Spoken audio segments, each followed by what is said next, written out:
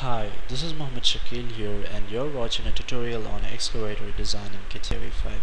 So uh, we are on the assembly design workbench and uh, we have uh, done couple of steps for the assembly of uh, this particular excavator here and now let's see which is the next component that is to be inserted. So we're going to insert existing component with the positioning, product, so as I said when you're going to insert the component always make sure you're going to insert existing component with positioning because it's going to make it easier. So uh, select the component uh, that is a cabinet. So I'll double click on the cabinet and I'm going to do a surface contact for the cabinet.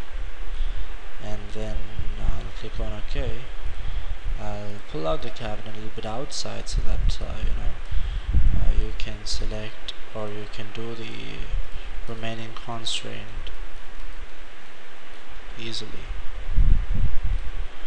So the next constraint you're going to do is with this edge over here and update and pull it out a little bit once again and then do another coincidence. Respect to this edge this edge here. So it stays properly over there. So uh, we are done with the cabinet and it stands properly over there. So I'm going to rotate uh, the uh, you know the assembly a little bit so that you can completely see how and where the parts lie uh, so that uh, the people uh, get the proper look at the product.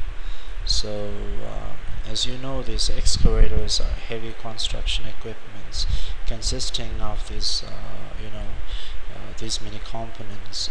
Those are called as a boomstick bucket and cab on rotating platform. That is this particular platform here. So let's see further assembly steps to complete this design. Thank you so much for watching